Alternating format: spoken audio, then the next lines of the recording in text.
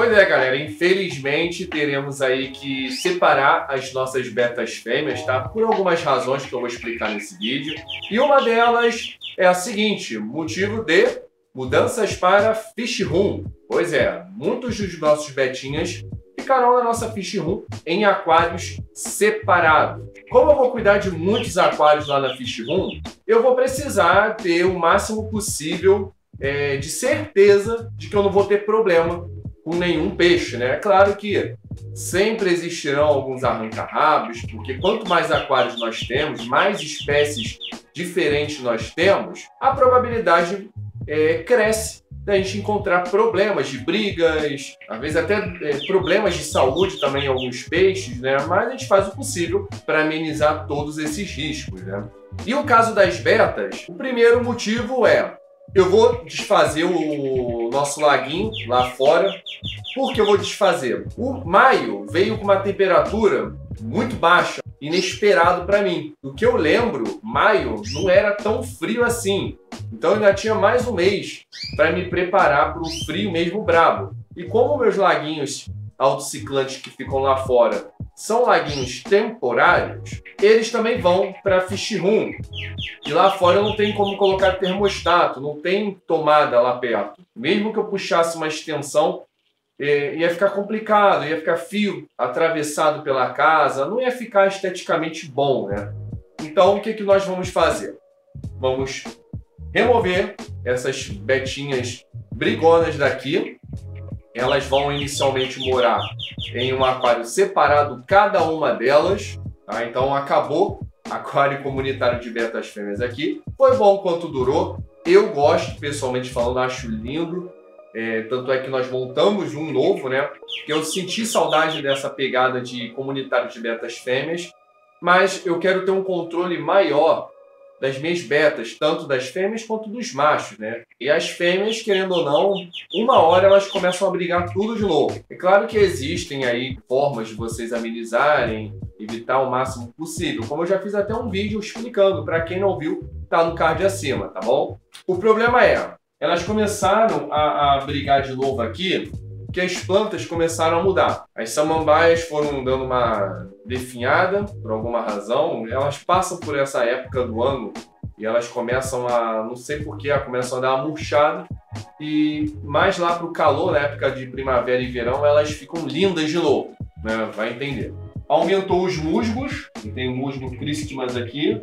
Aumentou também as minhas rotalas, eu comecei a colocar rotalas lá para trás, então mudou um pouco o cenário ali do aquário das betas e, consequência disso, elas começaram a, a brigar mais, né, por causa de território. Então nós vamos separar, porque atualmente é, eu estou muito focado em gravar muitos vídeos, até para o outro canal que nós temos de plantas, e cuidar também dos aquários. Eu tenho vários aquários aqui, como vocês bem sabem, são 19 aquários, então fica um pouco inviável. Por isso até que nós vamos colocar todos praticamente concentrados na Fish Room, onde eu vou passar boa parte do meu tempo trabalhando ali dentro, onde eu vou ficar observando todos eles, ver o comportamento, ver como tudo está ocorrendo lá. Né?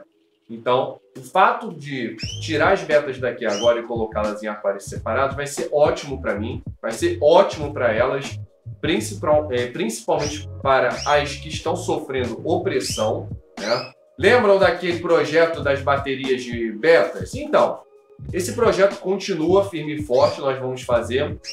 Lá na Fish Room vai ter espaço suficiente para todos os nossos betas, que inclusive é uma coisa que eu estou devendo para vocês, mostrar os nossos betas como estão atualmente.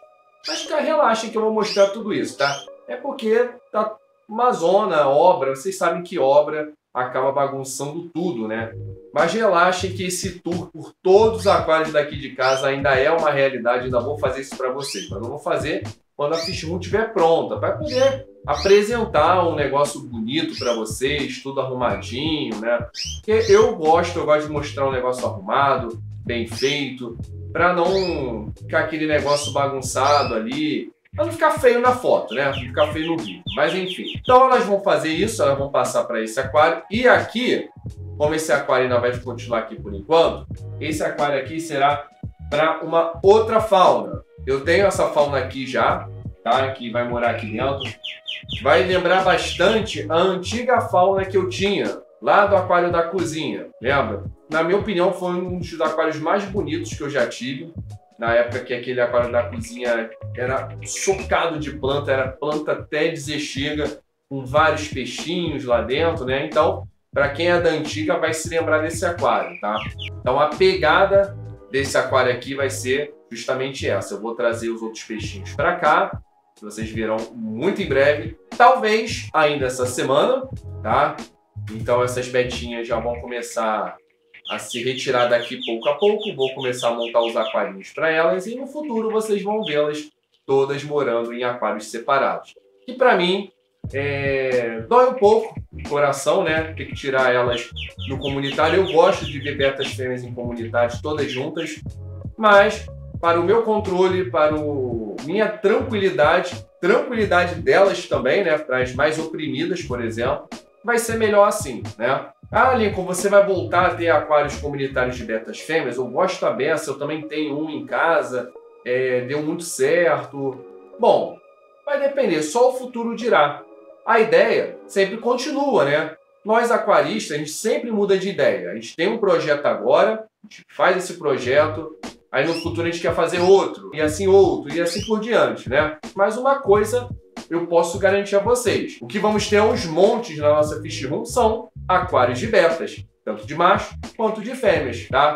Mas fiquem tranquilos que esse aquário aqui, como ele tem história, né, o lendário aquário da Samambaia, ele ainda vai continuar firme e forte aí, abrigando novos peixes, que muito em breve vocês saberão. Guardem aí que entre esse mês de maio, fim de maio já, né, já estamos no final dele, início, meio, até fim de junho, teremos muitas novidades, como sempre, né? Saímos aí de, um, de vários ciclos já no nosso canal. Temos, tivemos aí o ciclo do Jumbo, que segue firme e forte.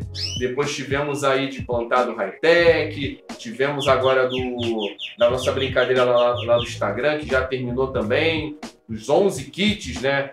Já tivemos os ganhadores, então vira e mexe estamos sempre entrando aí em vários momentos legais do canal, tá? E, e, agora serão essas mudanças, né? Então vão ter aquários que terão que ser desmontados, praticamente zerados, para poder acomodar outras faunas ali, para poder é, encaixar perfeitamente bem na nossa fish room, porque já estamos firme e forte, já temos todas as madeiras praticamente aqui, agora é só partir para a construção que inclusive vai virar conteúdo, hein, galera? Muita gente pediu aqui no canal para fazer vídeo ensinando a montar móveis, tá? Então, vão ter, vão ter esse tipo de conteúdo, tá? Vai ter muita coisa legal, vamos fazer um móvel de 3 metros de comprimento. Então, aguardem aí que vem muita coisa boa agora em junho, hein? Então, eu já peço a vocês para deixar o like, comentário também, que é muito importante. E é isso. Valeu, meus amigos e amigas. Um forte abraço a todos e até a próxima.